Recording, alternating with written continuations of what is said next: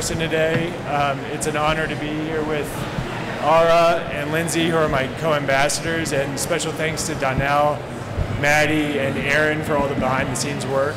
Um, for those of you who participate in the PRS Journal Club live event, it's uh, we're proud to continue the tradition, and because of your engagement, the PRS Journal Club has been really a recipient of multiple awards. Uh, Best Online Community Award two years in a row. We're happy to announce that the podcast won the Apex Award of Publication Excellence in Podcasts. So again, thanks to Dr. Warwick and Donnell, Maddie, Aaron, everyone else um, for all of your help with this. Here are classic pairings for the article that we'll be discussing today. So feel free to read these articles online for free. The session is being recorded and released as a special video and podcast on PRS channels, so uh, be sure to tune in. And um, I think it's a very special day for me and for everyone. Uh, these are three of my mentors at MSK, um, so it's my pleasure and honor to introduce the speakers today. Dr. Mehrara is the Chief of Plastic Surgery at MSK and the Peter Cordeiro Endowed Chair.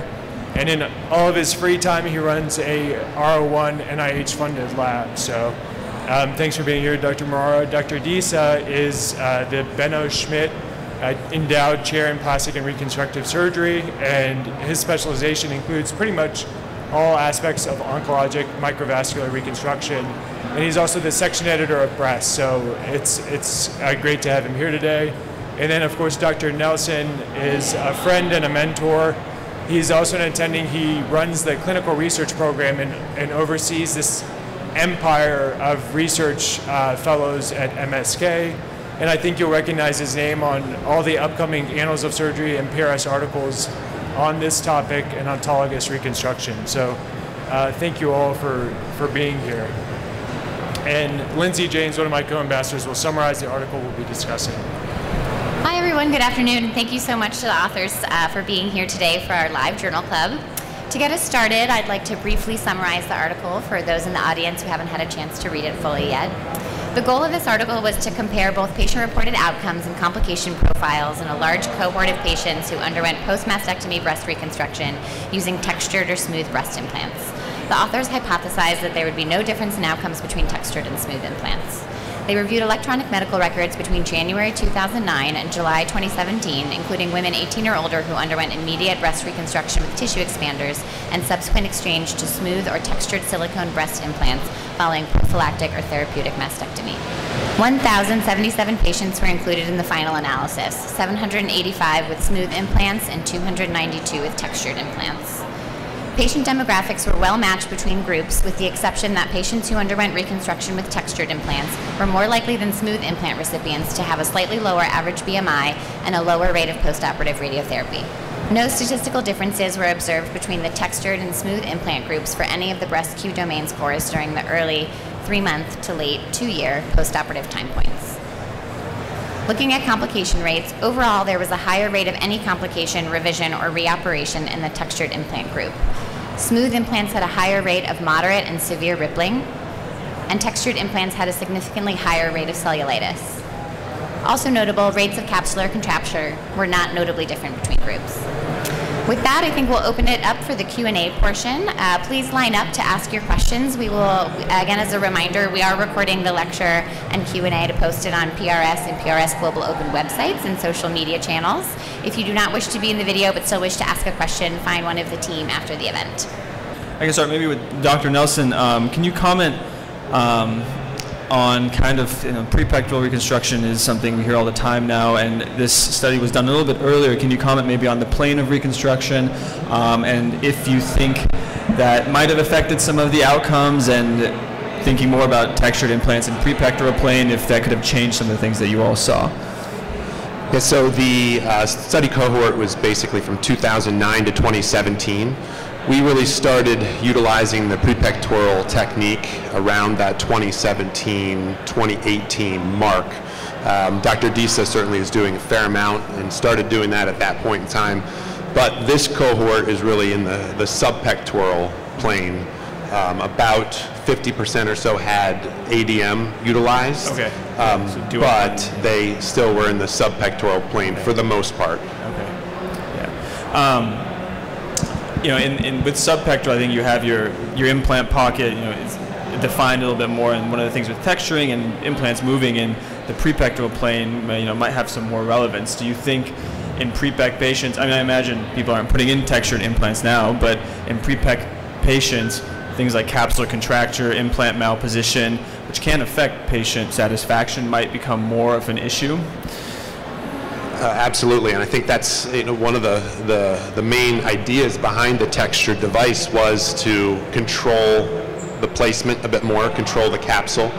Uh, and so the idea with, with in potentially being able to utilize that in the prepectoral space where you may have a bit more movement of your device, I think is, is, is real. But I think with the challenges with the textured devices, uh, certainly with ALCL, that dialogue, you have to bring, bring that up and really consider uh, heavily whether or not it's worth utilizing a textured device in that situation. Yeah, definitely. Thanks. Hi, thank you all so much. Uh, very interesting paper. I guess kind of following up on uh, that question um, with textured implants. Uh, now that you know the FDA has kind of come out and there's the, the recall with some of the textured devices, um, what are you all seeing in terms of patients coming back, um, in terms of undergoing explantation of textured devices or um, wanting to undergo monitored surveillance, and maybe what is your protocol um, for counseling those patients and working them up? Thank you. I'll take that one. I tell my patients that they need to be seen and they need to be followed, and that ALCL is relatively uncommon, and that as long as the FDA is telling me that I don't have to explant those patients, that's what I share with the patients. With that said, if the patient has an aesthetic issue, she doesn't like the way the implant looks or feels, this is a great opportunity to kill two birds with one stone. You can get rid of the textured implant and put the smooth implant in.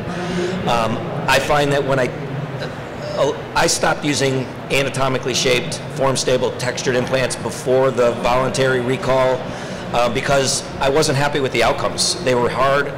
When you have a breast reconstruction patient, whether it's subpec or prepec, yeah, the shape may be good, but the soft tissue envelope over that device is relatively thin, and I found patients were complaining that they were cold, particularly in the cold weather. Um, they were hard, and then I would see late device rotations not uncommonly. And as a result of that, I started using the those devices less and less, and started using more and more smooth devices and patients like them because they are a little softer, they're a little bit more movable, a little bit more comfortable, and they're easier for your body to warm them up.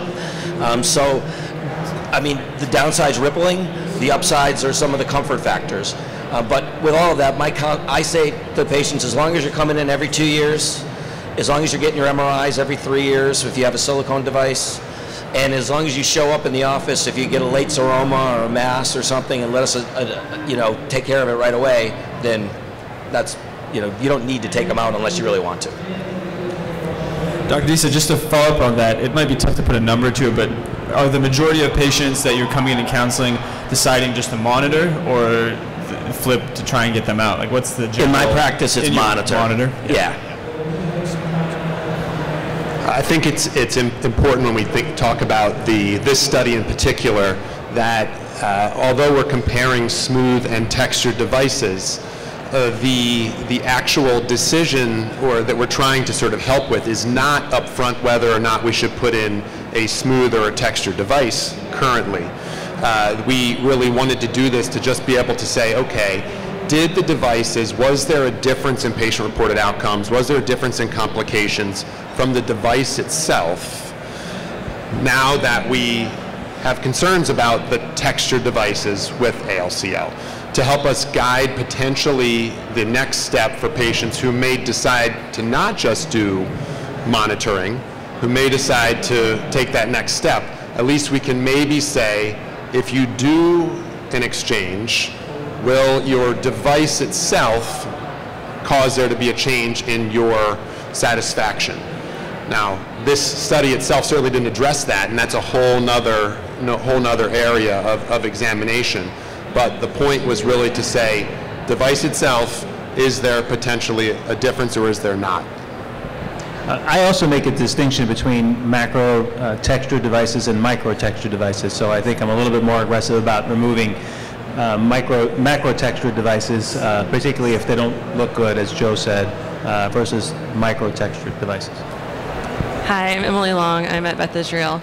Um, one of the interesting outcomes of the study was that there was a significant. Di- oh, sorry. Can you hear me now? Yeah. There was a significant difference in the rippling and the smooth implants. How do you counsel patients on this preoperatively, and what steps do you take to prevent rippling, whether alloderm, fat grafting, or the texture of the implant? Well, I can talk about that. Um, I, I tend to, um, you know, I think an important thing is to talk to them about implant size. So if you can upsize the implant a little bit, I think that decreases the rippling. I do tend to use the form cohesive implants more now than I used to. So the, um, the, the ones that are a little bit more cohesive, I think, have less rippling. I tighten the, the capsule a lot if I, if I can, uh, and then I do a lot more fat grafting than I used to. So I think well, I do all of those things. And I, I would just like to say I agree with all of that. I, I, the one thing that I have noticed, particularly in pre-PEC reconstruction patients with smooth, highly cohesive devices, is that they tend to flip. And when they flip, it's really noticeable because the back of the device is flat and the front of the device is round. And patients need to be counseled that you know they they're even if you do all of that, the weight of the implant can stretch out the pocket over time, and you can get a flipping device. Whereas the less form stable devices that ripple a little bit more tend to flip less. So you got to weigh the pros and cons. I, I found flipping with, with all of them, and it's a bad problem. You know, I think we went from capsular contracture to malposition uh, being a bigger problem than, than, uh, than it was. So it's a problem. It's hard to fix. In those cases, I sometimes go back to using a microtexture device. Dr. Nelson, can you comment on the findings related to radiation in the study and how that affects your clinical practice specifically? So, um, in our examination of sort of our, our long-term patient-reported outcomes uh, in both satisfaction with breast as well as physical well-being of the chest, radiation was one of the strongest factors for negative uh, or decreases in, in score. Uh, specifically, in, in this study, we did subgroup analyses looking at the patients who had radiation and patients who didn't. About a quarter of the patients had radiation. Uh, there were again, no differences between the textured and smooth in either of those cohorts. But on the multivariate regression, radiation was still again found to be one of the one of the most significant predictors of a negative impact of score. So I definitely counsel my patients uh, preoperatively just that. I counsel them that radiation will significantly affect you and will affect you in the long term. There may be nothing that you can do about that, but we, it's our goal and our, our role in that preoperative counsel, consultation as well as as we care for our patients to just help them understand what their process is going to be like. Setting expectations is really important. We can't necessarily impact the results that they're going to have uh, with regards to how their own body responds to the radiation, but if we can help them understand things a little bit better, I think that's, that's helpful. If subsequently there are things that we can do surgically, whether it be fat grafting, a revision procedure, to help improve that satisfaction, certainly that is, those are options we consider as well. I think um, something that we plastic surgeons need to do that we have not done is to quantify the effect of radiation on quality of life years uh, uh, in these patients. Because, you know, truthfully, no one really cares about breast Q uh, outside of plastic surgery, and, and I think we need to uh, get the message out that this really has an effect on quality of life years as opposed to just overall satisfaction with, uh, with, a, with a reconstruction. And, and I think that's a bigger message than, than being satisfied or not satisfied because these patients have terrible uh, problems. I see them a lot with lymphedema. We see patients who have, you know, no range of motion, severe lymphedema, and these are patients who had low risk for lymphedema to begin with. And with the viral sort of proliferation of radiation in this patient setting, I think it's, uh, we're obligated to do that. And I think probably a multi-centered trial with plastic surgeons looking at quality of life years uh, as an outcome measure would be a really important thing to do because, you know, the, the idea that uh, you reduce the risk of recurrence by 50%, 4% to 2% i- is oversold to patients. So they say, that's what they say to patients, but it's really 4% to 2%.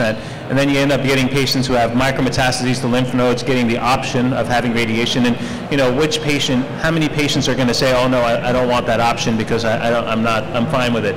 Um, so I think that message needs to get out, and, and I think that probably 20 years from now, we'll look back and, and think, uh, my gosh, we really did over-radiate this patient population. Uh, and I think we'll probably still end up be taking care of these patients in 20 years from now because, you know, as you all know, these, these problems tend to get worse over time, uh, not just one or two years, uh, but really 10 or 15 years down the line. So we'll see lots of angiosarcomas and we see, we'll see lots and lots of problems as the years to come. But I think we all, plastic surgeons need to get together and, and we need to have a trial to look at uh, the effects on quality of life years and uh, other uh, factors in, in addition to breast Q. Thanks, Dr. Morrow. Those are great points. It's a little off topic, but to follow up on that, have you seen any differences in quality of life um, that with pre-PEC patients and radiation, with you were mentioning pain, fibrosis, PEC fibrosis with the implant above the muscle, in patients that are getting pre-PEC recons? You know, I, I'm still fairly new to the uh, pre-PEC game. I, have only done it for like the last couple of years, and I'm Yeah. pretty selective on who I do it with, so I, I don't have a great number of experience with that. Um, Joe and Joe and uh, Joe and Jonas probably have more experience with that, so maybe they can comment on that. I would say that radiated pre-PEC patients generally do a little bit better than, with less fibrosis and less discomfort than the mm-hmm. radiated sub-PEC patients. But with that Assuming the implant stays in. with that said, Minor detail. with that said, pre-PEC reconstruction is either a win or lose proposition. You either win or you lose, and you're going to lose a lot more often with a pre-PEC because there's no forgiveness than with a sub-PEC. A minor amount of breakdown, and they're going to get infected or get exposed, and you're going to they're going to have a reconstructive failure. Yeah. I have a quick question for my colleagues here. T- What are your thoughts about microtextured tissue expanders, and do you use them? I don't use them, but I should because I hate the smooth tissue expanders. They, they I, I can't stand them. You know, they, they float around. Uh, so uh, I, I don't use them, but I should. in the primordial soup. Yeah, I, I use them actually, and uh, I like them. We, we have a hive mind at MSK. We all sort of come to the same decisions pretty much all at the same time. So Joe and I stopped using textured implants at, at the same time. We actually didn't discuss it. It was just that the, the Klingon hive mind mentality that took over. Yeah, I, I also don't, uh, I don't use them. I think that, that there's definitely a, a role for them, and I think that there's still a, a big question of, did we maybe swing a little bit too far in uh, the direction away from all texture devices? Um, the question of, does a short exposure to a textured tissue expander, does that, how does that play into risk of, of ALCL? I think that question has, has not been definitively answered. Um, but I think potentially using the microtextured uh, devices uh, is, is worth looking into. A couple of questions from the audience. Yeah, go ahead. Hi guys, Sammy Othman, Northwell Health. Uh, you had talked about fat grafting a little before and on the topic of radiation. For patients who are pre-radiated and then you want to fat graft them later on, I imagine the take is probably a little bit worse. Do you have any strategies for combating that or do you use alternative methods of treatment or what is your approach for those types of patients? I I typically don't uh, fat graft before radiation because I think it's a losing proposition. Um, After radiation, you know, it it sort of, it really depends on how good the tissues look. If it's, if it looks like a piece of wood, it's going to stay a piece of wood. Um, In patients who have uh, less severe reactions to radiation, I find that uh, fat grafting into the pec muscle is actually much better than fat grafting into the subcutaneous plane. So I, I put the majority of my fat grafts into the pec muscle if I can, uh, or the serratus if, the, if it's open.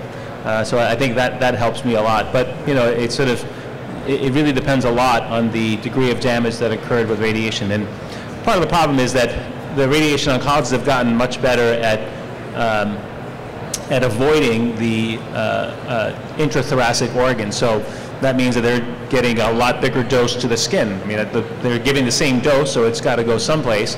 Uh, And I think that's why we see a lot more damage in some cases. For example, you know, I've had a terrible experience with proton radiation in some of my patients, and and that's been a problem because I think they're giving the same dose, but it's all, it's all getting absorbed by the skin, and, and, and some patients do very badly with that. So I think you really have to look at it on an individual case basis. If it, if it doesn't look good and if the skin is completely fibrosed, you're not going to change that with, with fat grafting, and there's no point even trying.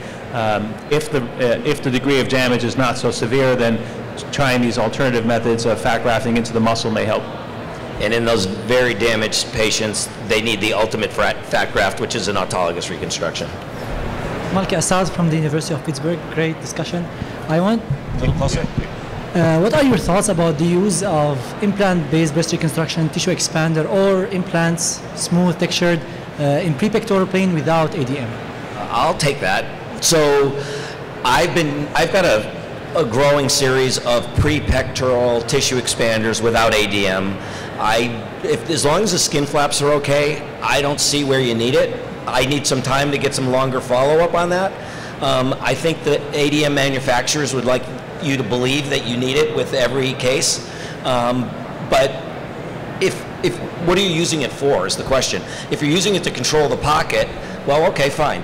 But that's what the tabs are there for on your tissue expanders. Now, with that said, if you're doing a direct implant breast reconstruction after a mastectomy, unless the patient's had a prior AUG and you're going back into that AUG pocket, if it's a neo patient, you need some ADM to help control the device so it doesn't fall out into the axilla or bottom out or whatever. Uh, but with tab tissue expanders, I very selectively use it, but more often than not, in a pre-pack, I'm not using ADM.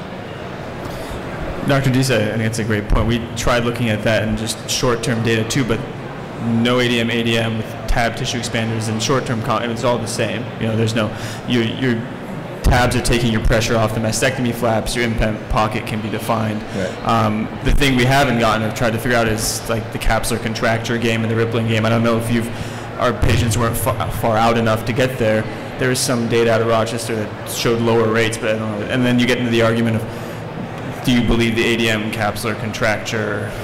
Right, and those are all questions that are not really well answered, and, you know, it's interesting that I just reviewed a paper for the journal um, that was sort of one of these systematic reviews, and it kind of hinted at the fact that the papers who had authors that were On the payroll? on the payroll for the AD, ADM companies had much better outcomes than the papers had authors that weren't on the payroll. Yeah. Fascinating stuff. It is, and I think if you look temporally at the use of, or the, even the papers published on ADM, where we're coming almost full circle, kind of back to where we were. You know. It, it's a tool. It's a, it's a, it, there, you can do things in breast reconstruction with ADM that you couldn't do without it. Yeah. But, and it's definitely a tool, but I don't think it's a panacea that you need it for every single case. Uh, Dr. Nelson, I don't know if we touched on this at all, but in the paper it talks about complication rate, textured versus smooth. But um, what are your thoughts as to what might, and, but then also that the cellulitis rate is higher in textured implants? Do you think that the complications are related to cellulitis infection, or why do you think that group had a higher complication rate? So I, I think that, that that specific variable was uh, a, uh, a variable that included complications related to cellulitis as well as a number of revision procedures. Um, I think that the, the textured surface certainly can, uh, in, in theory, be, harbor bacteria a, a bit better potentially. So it, it could be uh, related to that. The other thing that is important uh, when considering that variable is that the time horizon or the, the follow-up period for the textured patients was actually longer. Uh, our ex- experience with uh, smooth and textured uh, implants um, transitioned from mostly textured implants to smooth implants over time, mainly because Dr. Disa and Mehrara transitioned about the same uh, period. And so the follow-up was shorter for the smooth devices. As a result, if there's less follow-up time, there is a potential for that, that the complications could be, you know, over time revision procedures more simply because they were followed for about a thousand more days. Having said that, though, uh, I've had a number of patients over the years who had recurrent infections with textured devices that went away when I switched them to smooth implants. So I- I've definitely had that, uh, and, um, you know, I I can't put a number on it, but I can think of at And least that, five and to that 10 could be related to the, just the textured surface, sort of, although the antibiotics were able to sort of Right. quell things for a bit, it never uh, And- did and clear. These are patients with fully healed, fully healed implants, you know, two years out. Yeah, and I, I've learned this from Babak, and that's one of those things, if you have a patient who has a recurrent cellulitis late, and you, you put them on antibiotics, it gets better, it pops back up a couple months later. After that happens a couple times, you just need to suppress them and give it a shot of taking out the textured, wash out the pocket, put it in a smooth, and more often than not, it works. Yeah. Now I actually also put in a huge dose of antibiotics in the pocket, so I actually um, put in a, a gram of Vanco and some Gent and, you know, some shoes and whatever, all, all in the pocket. all Fairy this- dust. Everything I have, I put everything in there. Um, in today's day of social media and everything with ALCL, have you noticed women coming in asking more questions about smooth versus textured implants, and how does this paper maybe change your conversation with them, or does it? Yeah, hundred percent. I mean, I think um, it's um, they our patients are very well educated in, in uh, about this, uh, and uh, you know, in, in most instances, I can't even talk about a textured implant with them, even if they're having a complication with a smooth implant. So I have a number of patients who, whose implant keeps on flipping, and we've done several operations to try and fix it, and can't fix it because it sort of gets stretched out. In those cases, they still don't consider doing a, a, a textured uh, device, uh, even the micro-textured devices. We have time for one more audience question, and then we'll wrap up. Uh, hi, this is Abbas Hassan, a postdoc at MD Anderson. Uh, my question is, what are your thoughts on current uh, surgical risk calculators like the BRA? Is it influencing your decision making um, between choosing different surgical techniques? Your question was um, was about using calculators uh, for complication risk, essentially, right? Um, I, I think that uh, such calculators like the the BRA calculator, for example, I think that those are um, great great tools to potentially help give patients a bit of an, of an estimate of, of, of where they stand, what is their potential risk. I think that some of the challenges with calculators to this point in time are the number of patients and the number of events that are being used to build the models. And so I think that that is something that we as a field can certainly move move a bit further beyond um, in a multi-center way uh, to to get better data to be able to build better essential risk calculators. And one of the things that is always, along with all the other thi- variables such as BMI, smoking, diabetes, age, breast size, there's always the variable of the mastectomy skin flaps in the breast surgeon, and that's the variable that we can't control. Um, and some some of our colleagues put us at higher risk for problems than others. I think, uh, I think any paper that we write nowadays in plastic surgery that has odds ratios in it probably should have a model. Uh, a model that actually takes into consideration the odds ratios and puts them together so that you can calculate a score based on combined risk factors. So I think any, any situation where you have a, a multivariate model, um, you, you should probably include that in your, in your paper too, because that's really the, the value of it. You know, it's a, who cares if odds ratio of, uh, of risk factor X is 5 and the odds ratio of something else is 1.2. Uh, I I think that the, the model needs to be put together so that you can actually calculate the, the problem for a particular patient that comes along. Um, I think we'll end there. Thank you, everyone, for a great discussion. And a special thank you to our authors and panelists, Dr. Mehrara, Dr. Disa, and Dr. Nelson. Dr. Mike.